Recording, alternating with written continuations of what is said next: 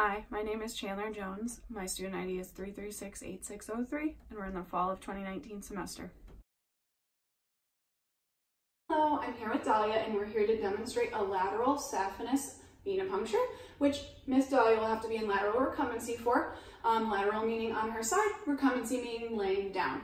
In order for us to get her in this position, you'll have to bring your arm that's closest to the front of her over and grip the leg closest to your body and then bring this one over and grab the hind leg closest to your body. You're going to slowly slide them down your body onto the table safely and keep your arm behind the head to maintain control and keep them from biting, moving, keeping them immobile basically.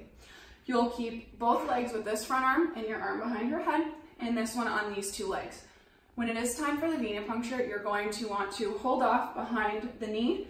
Um, the vein does run proximal to the hock and distal to the stifle, and you can see it here. Once the venipuncturist gets the blood, you're gonna wanna hold off on the spot for 30 seconds to prevent bruising, bleeding of any kind. And once that is done, you can release the hind legs, slowly release the front, and get her back up, and that was how you Hello, I'm here with Dahlia, and we are here to show you a cephalic venipuncture um, which she'll have to be in sternal recumbency for. Sternal is in regards to the chest, more specifically the sternum, and recumbency is lying down. So we will want her chest against the table, um, and we will see if she will lie down with us with commands. If not, you'll want to maintain control of the head and grab both legs and slide them out. And you will want her towards the end of the table. So let's see. And always maintain control of the head. You can slowly let up both paws. With this hand, you will want to grab behind the elbow on her, her left leg, which will force the leg out.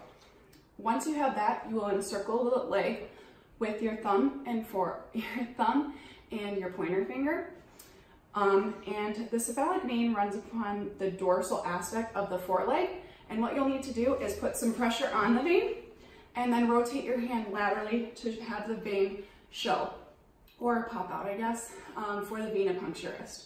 And once they get the blood, you will want to hold off on this site for about 30 seconds to prevent bruising, bleeding of any kind. And once that is all done, you can slowly let go of the leg, let go of her head, but also maintain control somewhat and let her up.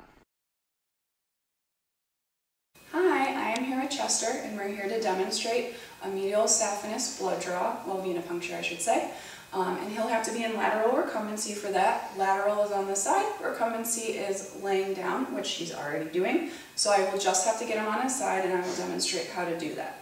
Um, it's kind of difficult to do it while they're laying down. I try to do it while he's standing up a little bit for me. Um, what you'll typically need to do is keep control of the head. I would bring this hand under, grab the leg closest to your body, bring this hand under and grab the other leg closest to your body. And slowly slide him down your body and maintain control of all legs. And keep your arm in behind the jaw, behind the head area to maintain control. Um, what you'll want to do is keep hold of both back legs and front legs.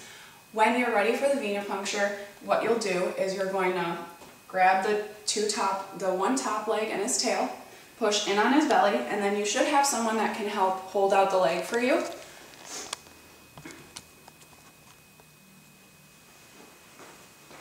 And once that is done, you will put pressure down onto the leg or karate chop down, and that should bring the vessel up for the venipuncture.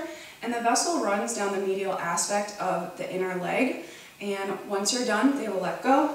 You can hold off where the blood was drawn and hold for about 30 seconds to prevent bruising and bleeding. And once that's done, you can safely release his hind legs, release his front, keep hold of his head, and let him up. I am here with Chester and we are going to demonstrate a cephalic venipuncture, which you'll have to get them in sternal recumbency for. Sternal is in regards to the chest, so sternum more particularly, you want the chest lying on the table. Um, so we'll have to get Chester into laying down position safely, which he's pretty good about. You will want to bring him to the end of the table and maintain control of the head. You're going to want to get this hand behind the elbow to stretch the leg outwards. Once you get that done, you'll want to turn your thumb inward and press on the cephalic vein, which runs on the topmost of the top, I should say, of the in of the front leg. You'll want to place pressure and then rotate your hand laterally. That will occlude the vein and pop it out for the venipuncturist to draw the blood. Once the blood is drawn, you will want to put pressure on the site for 30 seconds to prevent bruising, bleeding, anything like that, and then slowly let go of the front leg and allow the cat to move backwards and safely to you.